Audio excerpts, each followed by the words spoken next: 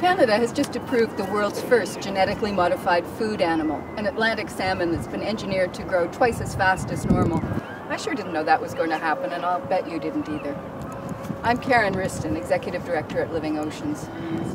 For over 15 years, we've been working to protect wild salmon for healthy oceans and the communities that depend on them. The federal government's approval of GM salmon took us all by surprise.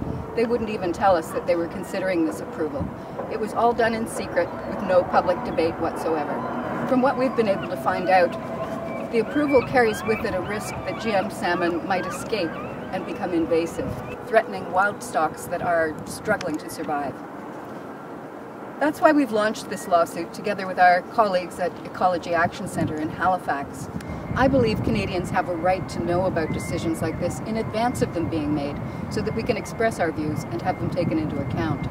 It's generally our practice, before we get started on any work, to plan for it and fundraise for it. In this case, we didn't have that opportunity.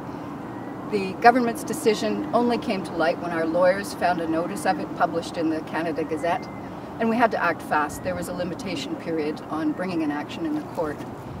We took that plunge knowing that there are thousands of people like you out there who are concerned about wild salmon and about democracy. You can help today by donating to our legal fund right here at Indiegogo.